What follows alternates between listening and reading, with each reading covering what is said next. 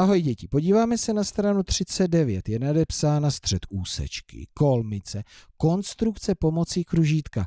Když si prohlížím žlutý rámeček, tady je popsaná ta konstrukce v několika bodech a vypadá to docela složitě. Chtělo by to jednoduše si to představit na videu. Tak. Pomocí kružítka narýsujeme kolmici M k přímce P a sestrojíme střed C úsečky AB. Tak to je hodně zajímavé zadání. Čím u toho začneme? Takže za prvé, máme přímku P a na ní vyznačenou úsečku AB. Tak, bude to chtět asi pravítko, přímka P, úsečka AB, mezi krajními body A a B.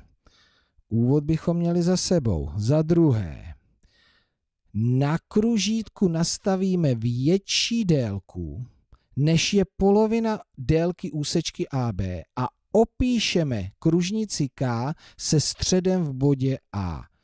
Na kružítku nastavíme větší délku, než je polovina délky úsečky. Takže, aha, tady je odhadem, kde by mohla být polovina, tohle je moc přehnaný, ale kousek za polovinu, odhadem. To se naučíte odhadovat. A tohle je kružnice K s tím poloměrem, který je větší než polovina té úsečky. Tak a budeme pokračovat. Nastavenou délku na kružítku nesmíme změnit. Opíšeme kružnici S o stejném poloměru se středem v bodě B. Kružnice se protnou ve dvou bodech K a L. Takže tento poloměr na kružítku nebudeme měnit, nesmíme změnit. Kružítko přeneseme, zapíchneme do bodu B, opíšeme kružnici S se stejným poloměrem a zde jsou dva průsečíky.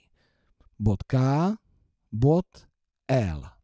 No a ty průsečíky teďka k něčemu určitě použijeme, jinak bychom je neoznačovali. Narýsujeme přímku M, která prochází oběma průsečíky kružnic.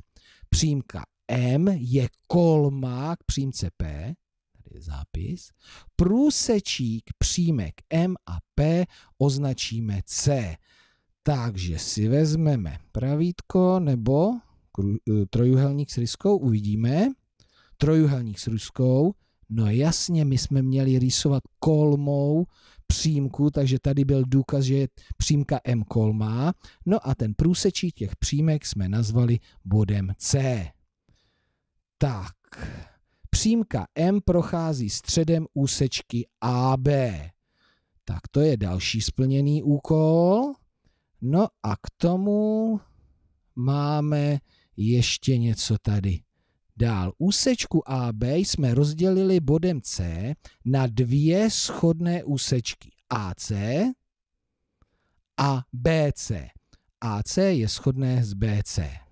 Tak.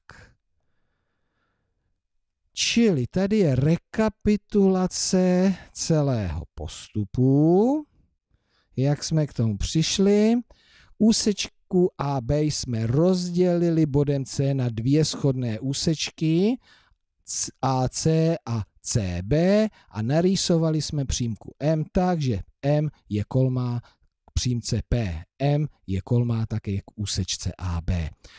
Tak, můžete si v učebnici projít ten postup ještě jednou, no ale nejlépe, když si ho do sešitu vyzkoušíte ještě jednou sami.